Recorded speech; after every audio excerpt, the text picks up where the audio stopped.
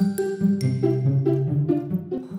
สวัสดีค่ะ มาเจอกับเกมที่เป็นลักษณะของ pecking game บ้างนะคะคำว่า pecking เนี่ยมันก็คล้ายๆกับหมุดนะคะที่มันเสียบลงไป แต่แทนที่มันจะเป็นหมุดเกมในลักษณะแบบนี้เนี่ยเขาก็จะเอาองค์ประกอบต่างๆ ที่อยู่ในของเล่นเนี่ยมาเสียบลงไปให้เป็นเรื่องเป็นราวตามแพทเทิร์นที่มีอยู่นะคะ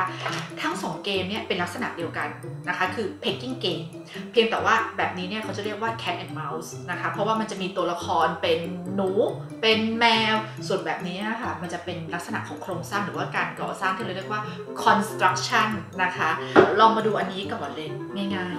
ๆง่ายๆทั้งสองเกมเนี่ยนะมีวัตถุประสงค์เหมือนกันก็คือว่าสามารถฝึกเรื่องมิติสัมพันธ์ของเด็กได้เป็นอย่างดีเลยค่ะภาษาอังกฤษจะใช้คำว่า spatial skill นะคะ มิติสัมพันธ์นี้เนี่ยอาจจะเริ่มดูตั้งแต่มุมมองเลย เช่น ลองดูตามการ์ดเลยนะคะ ใกล้ๆแบบนี้เลย ก็จะเห็นเลยว่า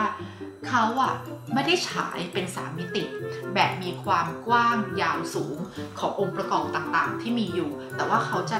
ให้เราเห็นเพียงแค่ด้านเดียวเท่านั้น เด็กๆจะต้องสังเกตนะคะว่าสิ่งที่เห็นอยู่เนี่ยมันคืออุปกรณ์ชิ้นไหน แล้วก็ค่อยๆสร้างขึ้นมาให้ได้ตามที่การกำหนด นอกจากนั้นยังต้องใช้ EF เข้ามาด้วยค่ะ เป็นเรื่องของ planning and organizing นะคะ กว่าจะได้รูปร่างแบบนี้ออกมา เขาจะต้องทำอะไรก่อนอะไรหลังนั่นเอง แล้วได้เรื่องของความรอบคอบด้วยเห็นไหม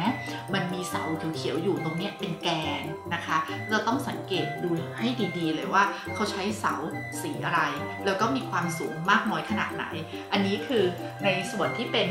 cat and mouse นะคะ แต่ว่าเดี๋ยวเราลองมาดูอันนี้ค่ะ อันนี้เนี่ยเป็นในส่วนที่เป็นของ construction นะคะ ก็จะมีการ์ดมาให้เช่นกัน แล้วก็เหมือนที่ครูปุ๊กบอกเลยว่าเขาไม่ได้ให้เห็นทั้งหมด 3 มิติที่มีอยู่เด็กเห็นเห็นเพียงแค่ด้านเดียว เพราะฉะนั้นจะต้องมองให้เป็น ว่าสิ่งที่เห็นอยู่เนี่ยมันเป็น top view side view bottom view ของอะไรบ้างนะคะ แต่ว่าเป็นเกมที่สนุกแล้วก็ไม่ยากจนเกินไปในขณะเดียวกันก็ไม่ง่ายจนเกินไป challenge เด็กเป็นอย่างดีเลยค่ะ เหมาะสำหรับเด็กๆอายุตั้งแต่ 2-6 ขวบขึ้นไปนะคะ เล่นให้สนุกค่ะคุณพ่อคุณแม่